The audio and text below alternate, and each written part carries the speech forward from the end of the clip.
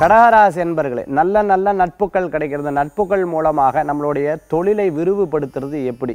இதிலிருந்து நான் மேலும் மேலும் நல்லா இருக்கிறதுக்கு உண்டான வாய்ப்புகள் நல்லா இருக்கா?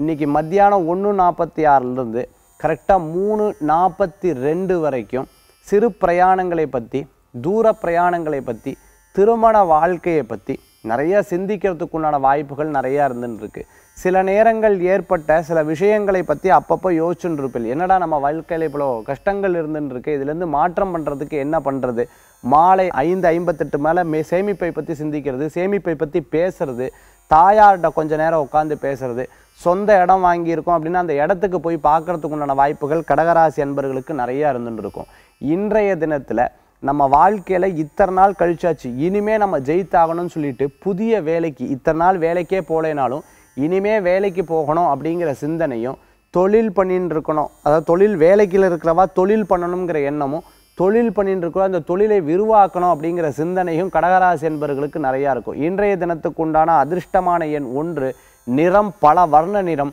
வழிபாட்டுக்குண்டான தெய்வம் சித்தர்கள் வழிபாடு அமோக பலன்களை தரும் அற்புத வழிபாடு கடகராசி அன்பர்களே.